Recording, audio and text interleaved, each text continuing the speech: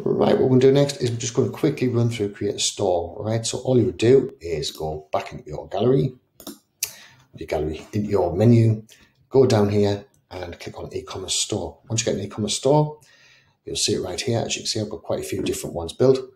I'm going to create a store, all right? So first off, you've got to select a page. So this is a page that you already have going um, and that you already linked to. So we'll just take one of these. Store name, um, now this will be the name of your restaurant. So floor challenge. And you want your correct email address down here and everything else. And then your logo, right? It is that simple, right? Um, you can put your pixel in there, you can put your Google Analytics in there, you can show your terms of service if you want to write out terms of service. You can also show your refund policy, right? Everything is all really simple. So it's basically a couple of buttons clicked, and that is your new store created, right? It's that easy to build a store inside of Messenger with ChatAmmo anyway. Right, thanks for watching and speak soon.